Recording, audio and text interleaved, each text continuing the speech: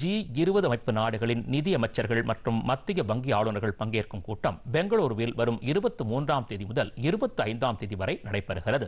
இதன் முன்னோட்டமாக பெங்களூருவில் இன்று நடைபெற்ற சைபர் தாக்குதல் தடுப்பு நடவடிக்கை கூட்டத்தில் நிதித்துறை அலுவலர்கள் மாநில அரசு அதிகாரிகள் உள்ளிட்ட இருநூறுக்கும் மேற்பட்டவர்கள் கலந்து கொண்டனர். இந்த கூட்டத்தில் உரையாற்றிய ரிசர்வ் வங்கியின் நிர்வாக இயக்குனர் ரோஹித் ஜெயின் டிஜிட்டல் பணப்பரிமாற்றம் அதிகரித்துள்ள இந்த காலகட்டத்தில் சைபர் குற்றங்களும் அதிகரித்துள்ளதாக தெரிவித்தார். பாதுகாப்பான டிஜிட்டல் பணப்பரிவர்த்தனைக்கு சைபர் குற்றங்கள் தடுக்கப்பட வேண்டும் என்று அவர் வலியுறுத்தினார். ரிசர்வ் வங்கி இதற்கான முயற்சியில் மும்முரமாக செயல்பட்டு வருகிறது என்றும் அவர் கூறினார்.